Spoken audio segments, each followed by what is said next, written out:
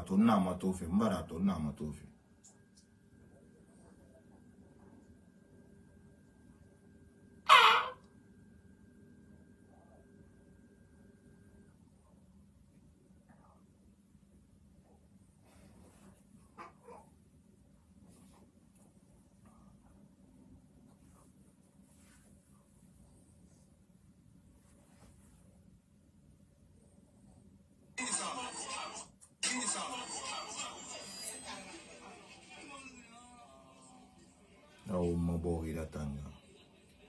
Le feu est rentré dans le quartier.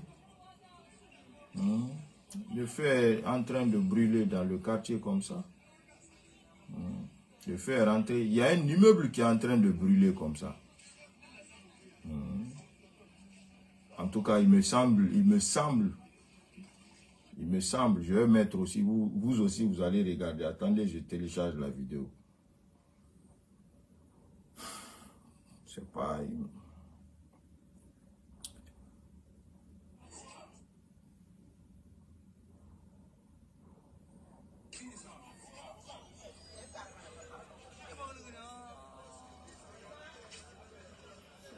Oui, les gens là sont dans le quartier comme ça. Vous voyez la fumée qui monte.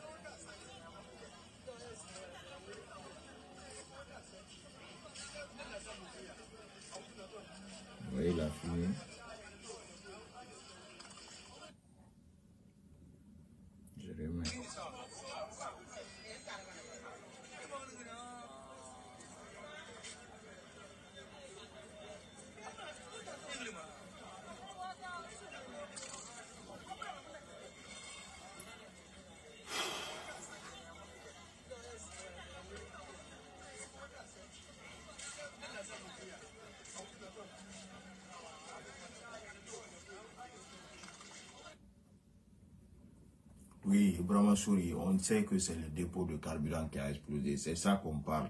On ne parle pas autre chose ici. Affaire de Guinée, là, ça nous concerne tous. Personne ne veut que le pays là brûle. En tout cas, moi, je ne veux pas que le pays là brûle. Je ne veux pas qu'il y ait, qu'il y ait ben de sang dans le pays là. Voilà. Il y a l'autre qui m'envoie vidéo aussi de là-bas.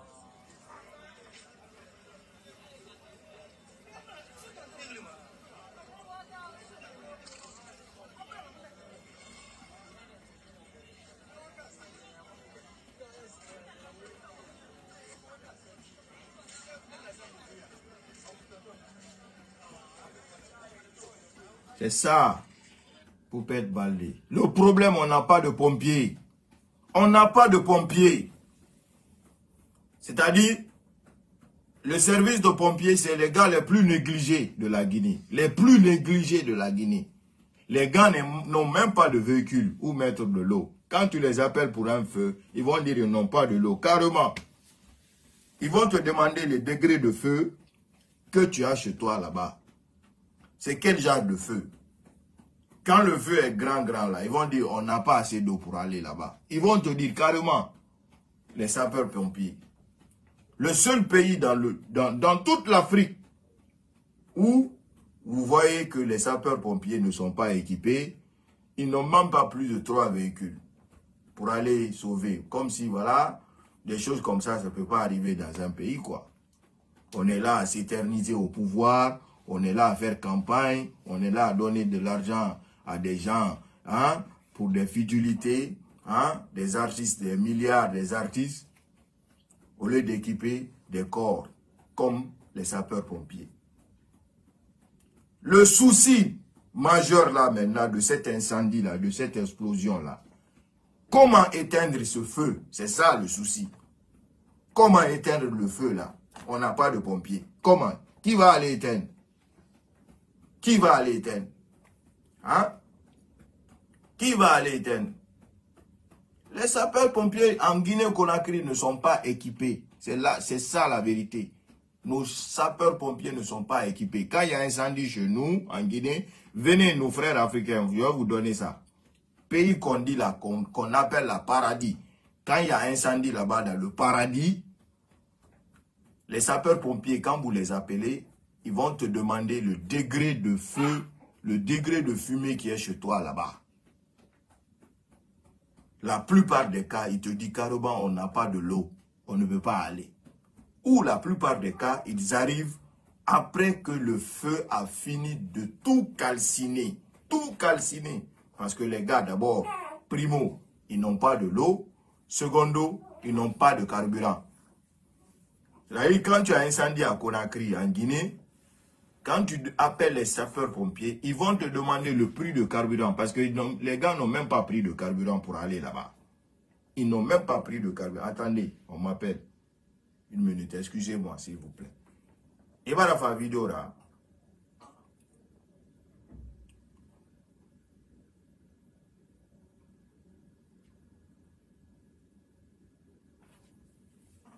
Inane dawo nde nara bama me ge na men te bara so quartier kui.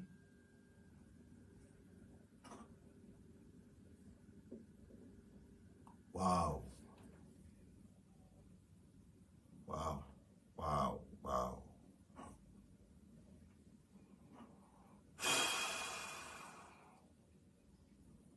Allahu Akbar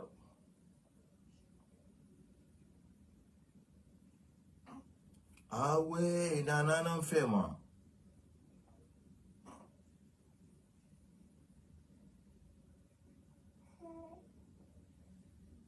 Ah, mon petit ranana, les races gelmané d'amener sirete couide parce que sirete nan naki. Eh, ok, ok, même un il fallait. Comme vous êtes là, tout le monde est là, voilà. Cette personne est sur place il dit que la fumée est proche même de la maison centrale maintenant.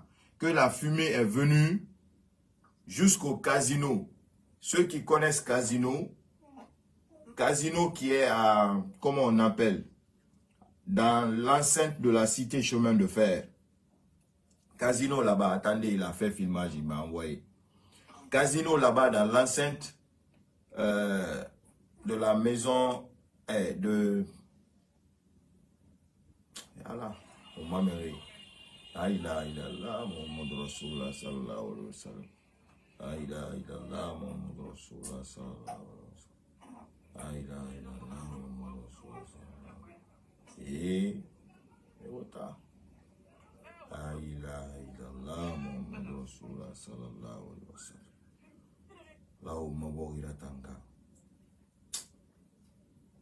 la la la guinea tanga online inayama arigi arigi mun tɔɔrɔi nɔmbarɛ tan makuya mun na gbɛrɛgbɛrɛ makuya mun na mun balo fe karama ma to mun dɔ lɔgo lɔgɔ mun wɛ ma alikolo changement ngaraba mun ma bɔ ma mun gɔn ke fanga fala alhamdulilahi salane kine teku ya allah ya rabbi ya rahman mun wɔline n gɔline n gabɛ n wɔli n babɛ na duwaw yabi mabɔhima gbɛrɛgbɛrɛ makuya mabɔhira bɔ ya mun fa yakun menge sali membe kwa yenyi.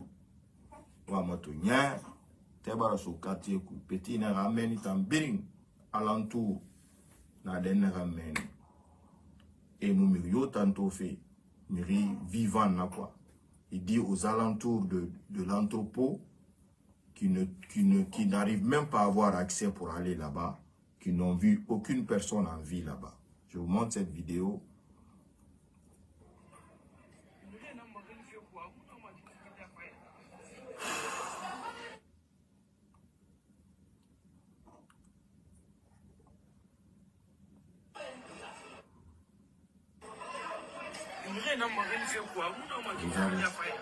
Regardez, hein? regardez de fumée. On dirait l'enfer.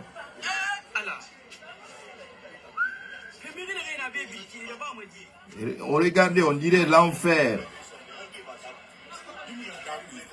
On dirait l'enfer.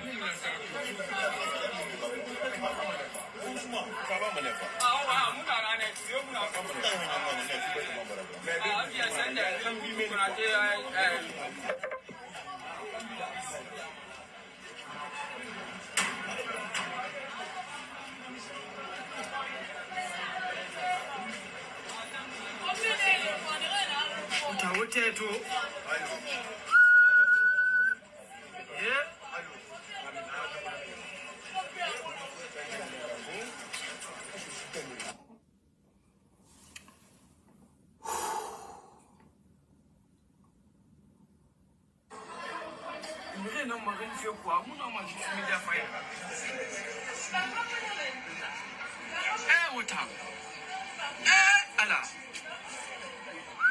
Fumi kana kai na be bi Je dirais l'enfer en en personne.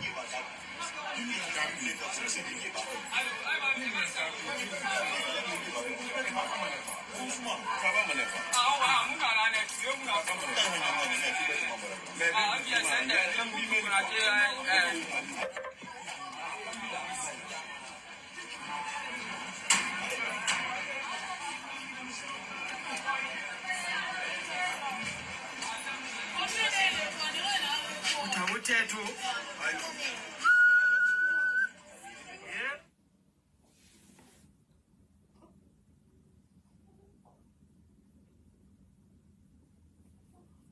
Allô Hmm?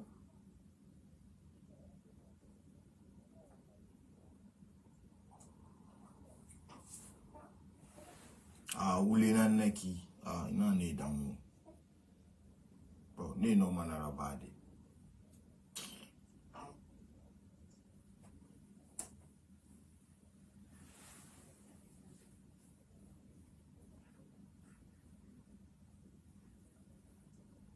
amena mfogara ala kanyeto ya fioma parce que miskini na meni rabilingi. Miskini na meni rabilingi. Setari. Ne mo ga ke nna e biri nga ke nna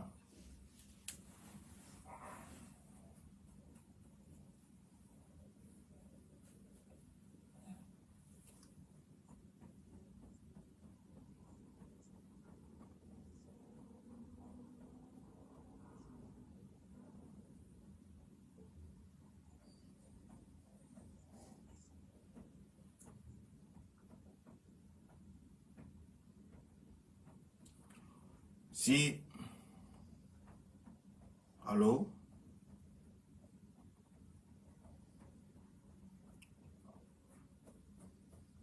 Attends. Hmm. petit nous dans le souci est que le souci est que regardez ça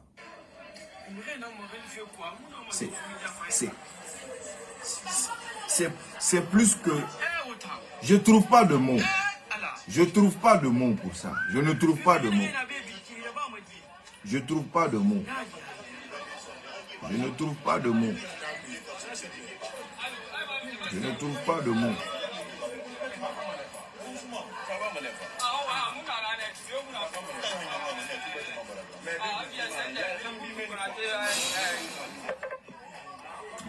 de mots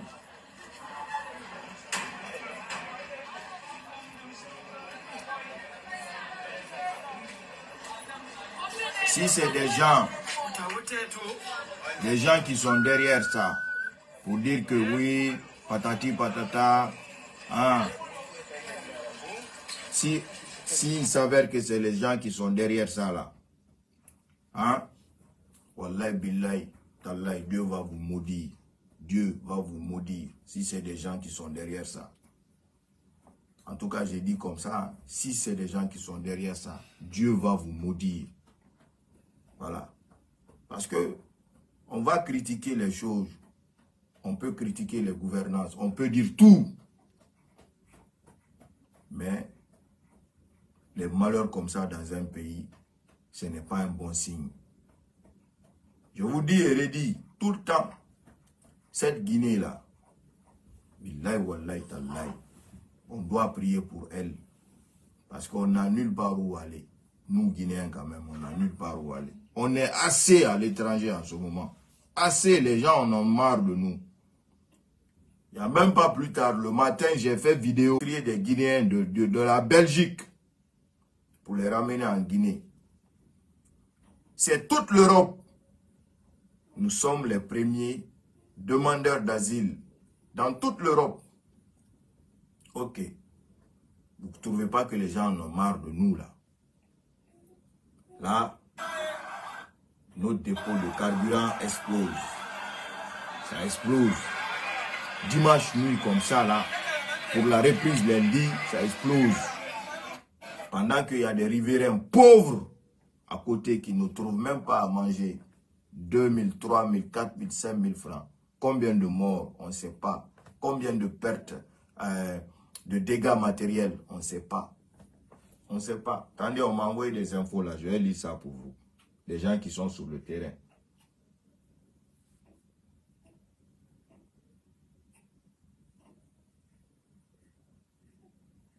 Bon, cette histoire, c'était déjà prévisible parce que depuis très longtemps, les gens disaient que l'affaire, l'endroit là ne devait pas exister là-bas parce que c'était trop proche de la ville. Trop, trop proche de la ville. Trop, trop proche. Dans les pays normaux, ces endroits de dépôt de carburant sont très éloignés de la ville. Parce que la pollution de ça même, les personnes qui vivent à côté n'auront pas longue vie à la longue. Ne peuvent pas vivre près de 100 ans. C'est ça. Wow. Ok. Ok. Info, info, info exact. Parce que ça, ça vient de quelqu'un de très, très, voilà, fiable.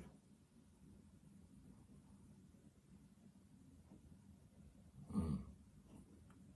Ils, ils disent, il dit plutôt que c'est la cuve la cuve qui a explosé. La cuve qui a explosé, l'une des cuves qui a explosé, tellement que l'explosion était forte, ça s'est ressenti dans la, dans la haute banlieue de Conakry. Tellement que l'explosion était forte, ça s'est ressenti dans la haute banlieue de Conakry. Voilà. Comment la cuve a explosé Qu'est-ce qui a fait que la cuve a explosé On n'en sait pas. Seul Dieu sait d'abord pour le moment.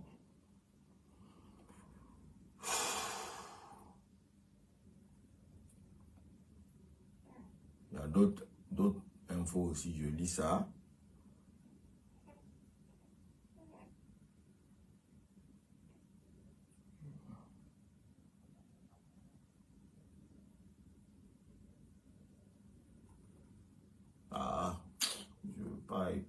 écouter ça.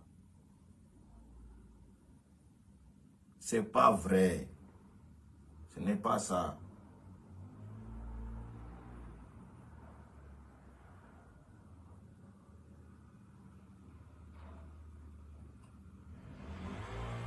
Je ne vais même pas lire ça pour vous ici. Parce que moi, je ne veux pas traumatiser les gens. Voilà. Je ne vais même pas lire ça ici. Je ne suis pas quelqu'un qui va venir s'asseoir, raconter des conneries aux gens. Malgré que c'est Facebook, c'est Internet. Je ne vais pas venir m'asseoir. Vous savez que ma page, moi, je ne viens pas m'asseoir pour raconter des conneries. Je dis ce qui est exact, ce qui est vérité. Si je n'ai pas la certitude, je vous dis, il paraît. Ou je suppose en tout cas. Donc, je suppose qu'on dit que c'est la cuve qui a explosé. Je suppose qu'on dit qu'il y a eu plusieurs morts, blessés et des dégâts considérables en matériel. Je suppose que on dit que la fumée est venue jusqu'au niveau du casino. Du casino qui se trouve dans l'enceinte de... Euh, comment on appelle? Le nom m'échappe à chaque fois. Dans la cité chemin de fer. Je suppose aussi, il paraît que la fumée est venue jusqu'au niveau de la maison centrale de Coronti, à l'heure où je vous parle. Donc, seuls les médias en place traditionnels, plus précisément la RTG, c'est là que vous devez prouver que vous êtes vraiment voilà, un média, pas là pour faire la campagne d'un président, mais pour être là pour informer le peuple. Parce que un média maire que vous êtes, vous devez être là, là, de, suite à l'instant, faire un direct là-bas sur le champ pour dire calmer les actes, c'est-à-dire calmer la population, dire à la population, il y a eu tel dégât, c'est à cause de ça, ou on n'a pas encore les détails, mais nous sommes là pour informer le peuple. Regardez, le pays là, on dit le paradis. C'est nous les hommes qui sommes là sur les réseaux sociaux, qui, qui informent même. C'est nous-mêmes qui informons la population, alors qu'on n'est même pas dans le pays. On n'est même pas dans le pays.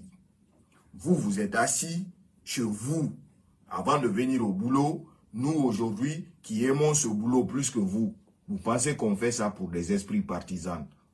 Vous vous trompez. On fait ça par esprit patriotisme, pas d'esprit partisan. Jamais de la vie. C'est par patriotisme qu'on fait ça. Aussi simple que ça. Donc, les infos vont s'éclaircir au cours de la nuit jusqu'à demain matin. Mais pour l'heure, ce que nous avons, on a ça. Le paradis s'est transformé en enfer. On ne le souhaite pas. On a ça. On a ça. On a ça. Ça. C'est une catastrophe. Une catastrophe. Voilà, une catastrophe. Les télé privés, ils sont tous, voilà, ils sont en train de dormir. Comment les télé privés vont aller là-bas hein? Actuellement, ils sont ségrégés. Comment les télé privés vont aller là-bas? On va dire, parler de ça. Les télé privés sont ségrégés. Les journalistes des télévisions privées, ils sont suivis, ils sont filés. On ne veut pas qu'ils dénoncent. On ne veut pas qu'ils fassent leur travail. Aussi simple que ça. Ce qui est dommage et triste dans toute cette histoire-là, vraiment, le pouvoir est éphémère. Rien ne demeure, tout passe.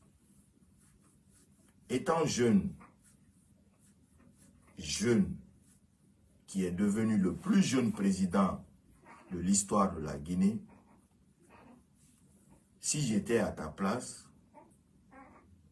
mon plus grand souhait allait être quoi? Quand je vais quitter le pouvoir, le souvenir que je vais laisser au peuple, le souvenir que je vais laisser à mon peuple. Quel genre de souvenir? Cela devrait être cela allait être moi, si j'étais à ta place, mon plus grand souci. Parce que le pouvoir est bon, le pouvoir est doux, le pouvoir est fort. Oui. Mais le passé, hein, c'est la suite du futur. C'est-à-dire, ton passé, le travail, ton passé, les actes que tu poses dans le passé, c'est ce qui t'accompagne dans ton futur. Je sais pas si je me fais comprendre. Fais de bien, tu auras le bien dans ton futur. Fais le mal, tu auras le mal dans ton futur. Aussi simple que ça. Aussi simple que ça. L'histoire retiendra de Mamadi Doumbouya que c'est lui qui a brouillé les médias privés, que c'est lui qui a fait descendre les médias privés de Bouquet Sat, que c'est lui qui a instauré, c'est-à-dire la restriction d'Internet même les membres du gouvernement utilisent le VPN pour se connecter. Même les membres du gouvernement utilisent le VPN pour se connecter.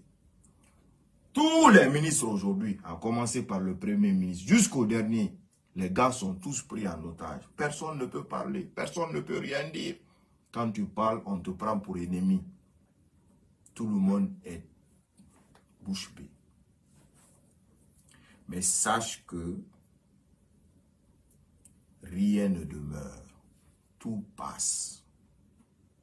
Et quand ça va passer, comment les gens vont parler de toi? Il y a beaucoup de choses aujourd'hui qui se passent en off. en coulisses, dont le peuple ne peut pas avoir l'information là tout de suite, parce que c'est gardé secret. Tu le pouvoir. Mais sache que toutes ces choses-là se découvriront quand tu vas quitter. Et je sais que parmi ces choses, nous allons entendre, on avait parlé, il n'a pas écouté. Nous allons entendre, on ne pouvait pas donner de conseils. Si tu donnais conseil, on pouvait te prendre d'ennemis, te traiter d'ennemi ou te faire du mal. Ça, je sais qu'on va entendre ça. Alors, si le pouvoir est devenu très doux, très très doux, il faut se dire que Jordan, tu n'es pas Dieu, tu n'es même pas un prophète.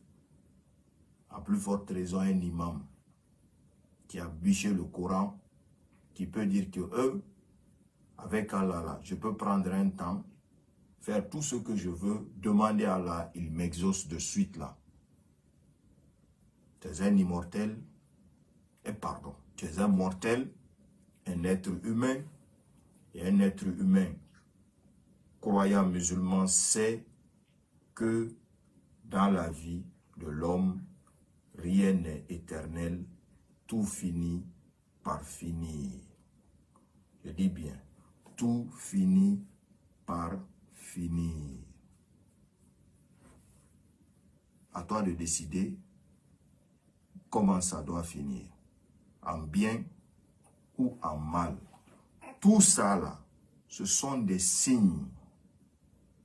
Des signes pour toi, pour que tu puisses prendre la bonne décision pour toi-même, pour ton être, pour ton bien-être et le bien-être de ceux qui t'entourent, le bien-être de ton gouvernement, pour que les Guinéens puissent parler de toi dans ton passé en bien. Pour que les Guinéens puissent parler de toi dans ton passé en bien.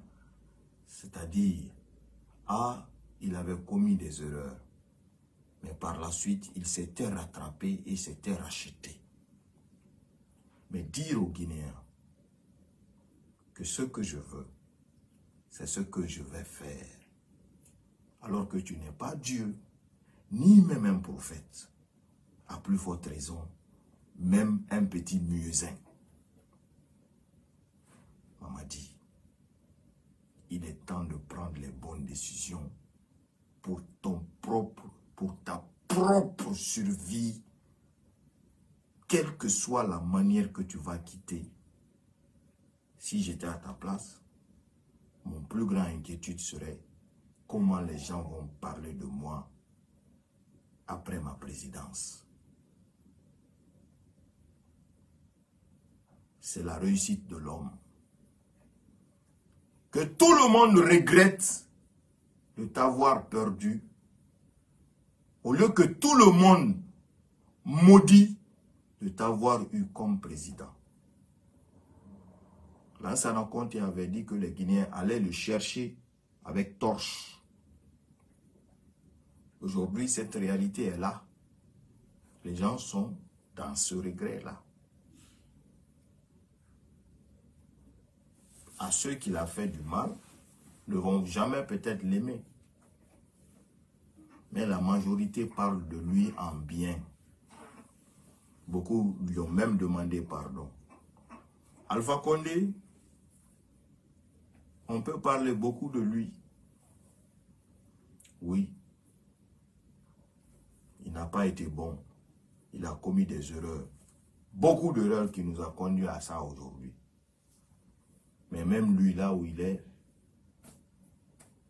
il sait que oui, il a commis des erreurs et que si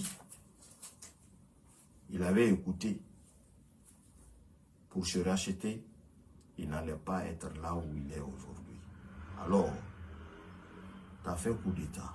en déposant ton mentor, ton bienfaiteur.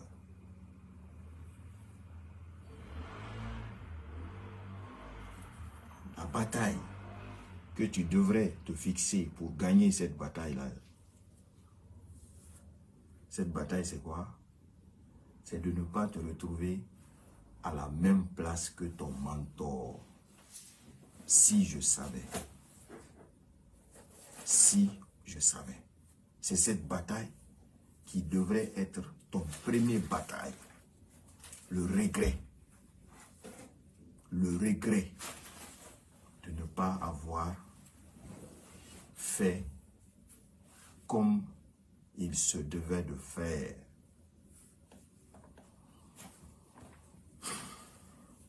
On dit en bon sous-sous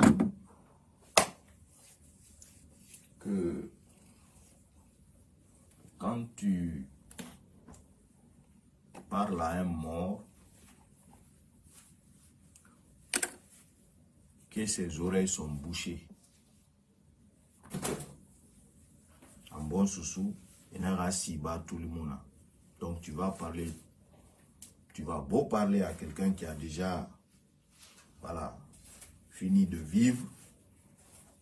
Tu vas lui dire, faut pas faire ça, faut pas aller là-bas. Lui, il va faire ce qu'il veut. A pas de problème.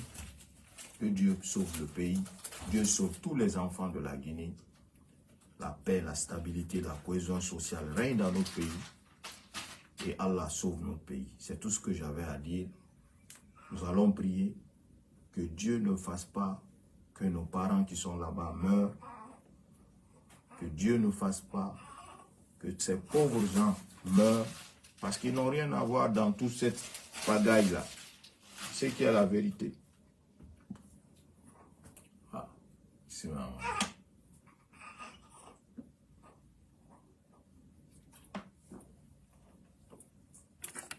Tu es venu, tu as tué des gens, tu es devenu président. On t'a laissé tout ça. Sinon, dans un état normal, un assassin, on prend, on, prend un assassin, on le met en prison. Une personne qui a tué une seule personne, c'est-à-dire complice d'assassinat, hein, ou même quelqu'un qui est au courant d'un assassinat, on le juge en disant tu es condamné à 10 ans, 20 ans de prison pour complicité d'assassinat. On le met en prison. Ce n'est pas un assassin. À côté, on met l'assassin, on dit l'assassin, toi, tu es reconnu coupable d'assassinat de telle personne, de Soriba Kamara. Hein? Tu es condamné à 40 ans de prison. Une seule personne. Mais toi, tu as assassiné assassiné 186 personnes pour être au pouvoir. Et tu as le pouvoir, mon gars, tu es en train de faire n'importe quoi. Hein? Non, vraiment, tu es, tu es, un homme. Tu es un homme, hein. Mais tout ça là, ce n'est pas un hasard. Parce que Dieu, lui, ne fait rien par hasard. Dieu savait que les 186 personnes là allaient être tuées et que tu allais être au pouvoir. Mais tu oublies une chose. Cette chose-là, c'est dans le Coran. Pour ceux qui connaissent le Coran,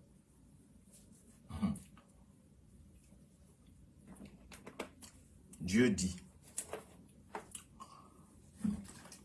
quand il décide de faire d'une personne un chef,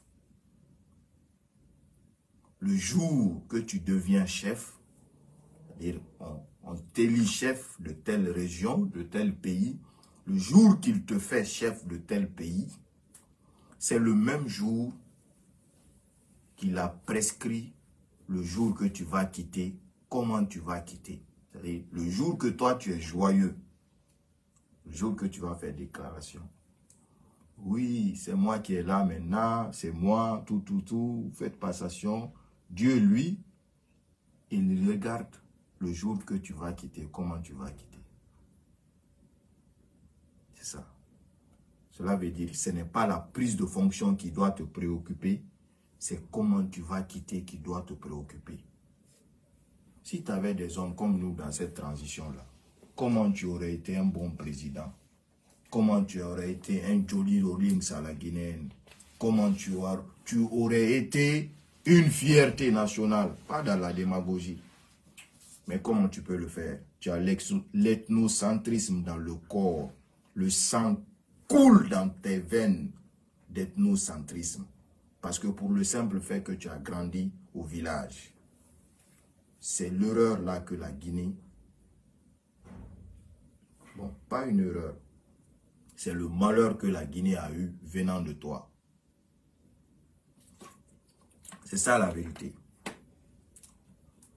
Le parrain, Jordan, il a grandi au village où le soleil brille sur les crânes à 90 degrés.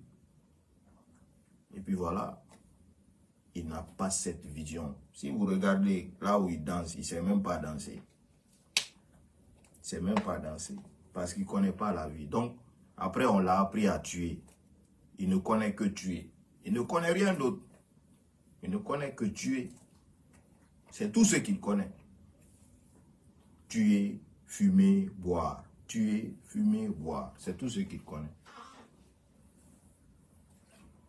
Maintenant, tout le peuple est devenu pour lui comme un poulet. Tu n'es pas pour lui. Tu l'aimes pas. Tu le critiques. Tu veux qu'il quitte. S'il met main sur toi, il te découpe en poulet, il te mange. Que tu sois son ministre, que tu sois son ami, que tu sois même ses parents, tu n'es pas pour lui, il te découpe, il te mange. Aussi simple que ça. Le gars n'a pas de remords, il n'a aucune pitié. Ça, vous pouvez en être sûr et certain. Il n'a aucune pitié ni de sentiment. C'est ça qui est la vérité. Mhm. Il est quand même gentil, comme tous les personnes qui, sont sans remords, qui peuvent te faire de mal sans avoir le remords. Il est gentil. Il peut te donner tout ce qu'il veut. Tout ce que tu veux, il peut te donner tout de suite. C'est le parrain que je suis en train de vous parler. Il peut te donner tout ce que tu veux tout de suite. Hmm. Quand vous partez là-bas, c'est le dollar. C'est les dollars, les chèques. En dollars. S'il n'y a pas de liquide, c'est les chèques qui parlent. Ça te donne. Mais s'il apprend que tu es pam, pam, pam, pam, il va te découper en poulet, il va te manger. Ça, tu peux en être sûr et certain. Que Dieu sauve notre pays, que Dieu éloigne ce malheur de notre pays. Le malheur aujourd'hui qui a pris une telle dimension que Dieu nous sauve. Pour tous ceux qui connaissent le Coran, il est temps de prendre le Coran, de passer des nuits à veiller, à lire pour l'instabilité, la cohésion sociale. Bon, les gens m'ont envoyé vidéo, les gens m'ont envoyé tout, tout, pendant que je parlais. Mais bon, on va aller se coucher. On va aller se coucher. Hein? Ce qui est sûr et certain là, notre pays, la Guinée là. Les gens sont venus le trouver, les gens vont partir, le laisser comme ça. C'est ce qui est la vérité. Vous pouvez tout faire pour ne pas finir toutes les ressources que la Guinée a. Vous ne pouvez pas tuer tous les enfants de la Guinée, ni même, je dis bien, rester éternellement au pouvoir. Ce qui est sûr et certain, vous allez quitter. Ça, vous pouvez en être sûr et certain. Vous allez quitter. Ah, ah. Parce que dans la vie, rien ne demeure, tout passe. Ah. Il y a une histoire dont je vais raconter, une toute petite histoire, une histoire de prédiction, parce que à l'époque, mon oustaz, c'était un euh, prédicateur, c'est-à-dire les gens qui font les rappels. Mon oustaz, c'était un prédicateur. Et un champion. Longue vie à lui, Oustaz Kabar. Parce qu'il est récemment, il était malade. Il a raconté une histoire. C'était un homme riche avec euh, un homme qui était riche, très riche, qui avait le pouvoir, qui avait les femmes, qui avait tout. Donc cet homme, comme nous autres d'ailleurs, qui devient riche, qui ont le pouvoir,